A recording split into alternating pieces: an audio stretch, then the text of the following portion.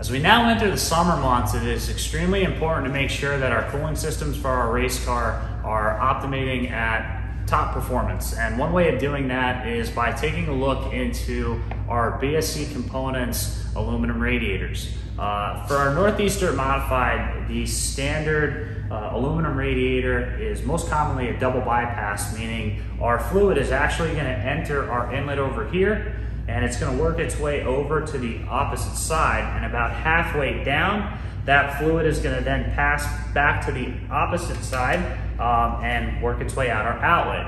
And the reason why is because it passes the core twice, hence the name double pass. With the development of our standard radiator, we've now come out with a lightweight version of it.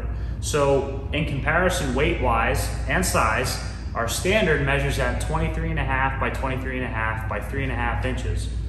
Our lightweight is gonna measure at 23 and a half by 23 and a half by three inches. So the core itself is about a half inch smaller, but as far as our inlet, outlet, and ports, they're all the same. So your quarter inch MPT is still gonna be used for your expansion tank.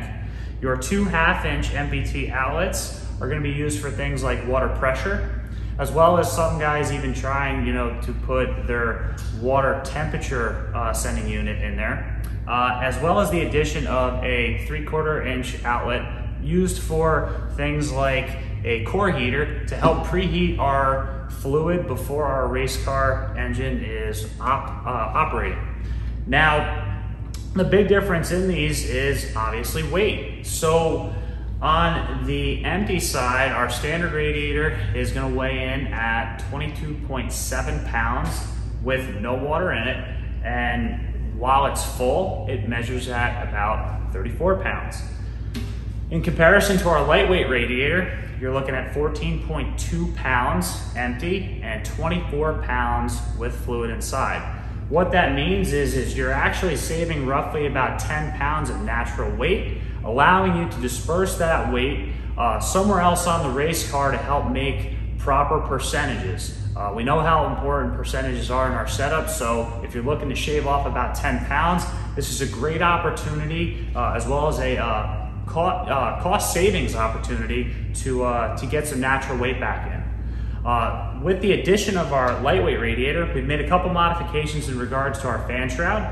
So one of the things that you'll see is the top part of our shroud being flat so that when we end up putting our hood piece on, you don't see as much as an interference to where you have to do some modification to either the shroud or even your hood. Uh, helps make it a little bit easier when you're putting the body back on.